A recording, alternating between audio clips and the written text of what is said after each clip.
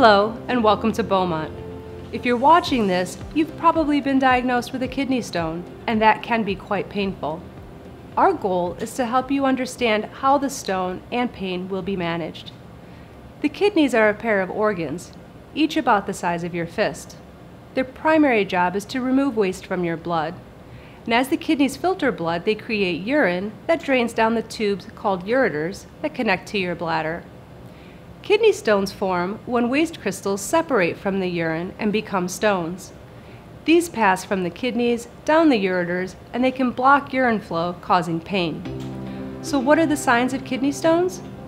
Most people complain of pain in the mid back that radiates to one side or spreads to your groin, nausea and vomiting, an urge to urinate often, pain when you urinate, or pink or red urine. It's important to note that pain from kidney stones can come in waves, with periods of time in between with no pain. Some kidney stones will pass on their own, and you should talk to your doctor if you are experiencing these symptoms. You should call your doctor immediately or head to emergency if you have kidney stone symptoms associated with a fever, trouble passing urine or an inability to urinate, a large amount of blood in your urine, or severe pain not relieved by over the counter medications. We understand passing kidney stones can be extremely painful. The good news is that most kidney stones are passed by taking pain medication and drinking lots of water. In other cases, however, depending upon your symptoms and the size and location of your stone, surgery may be required. The most important factor that influences our treatment of your stone are your symptoms. When you come to the emergency department, we will do several tests to diagnose kidney stones. A urine test will show if you have blood or an infection in your urine. There are a few different types of imaging tests that your doctor will consider. Usually, a CAT scan without contrast will be ordered, but sometimes an X-ray or an ultrasound depending on the situation. These will help better identify the size of the stone and where it's located. Once we have diagnosed a kidney stone in the emergency department, you will typically undergo a period of observation.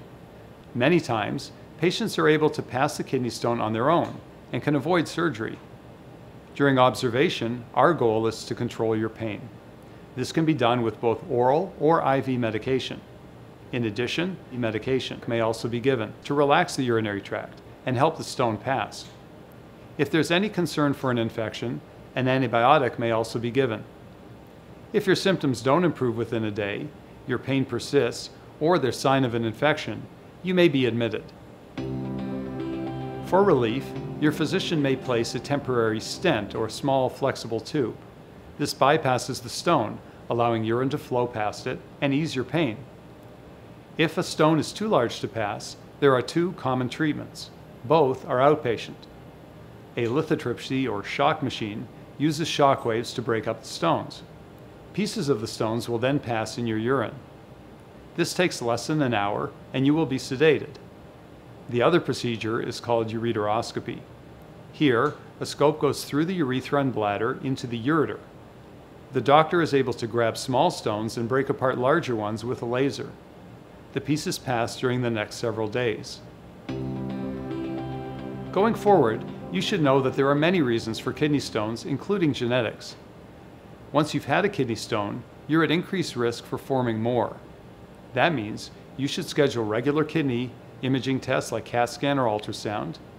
You can also reduce your risk of kidney stones by watching your diet. Drink enough liquids, especially water, each day. At least half of your liquid should be water, and be sure to increase the amount you drink when exercising or the weather is hot. Reduce the amount of animal protein and salt you consume. Eat fewer foods rich in oxalate. That means limiting nuts, chocolate, coffee, green leafy vegetables, beets, and sweet potatoes.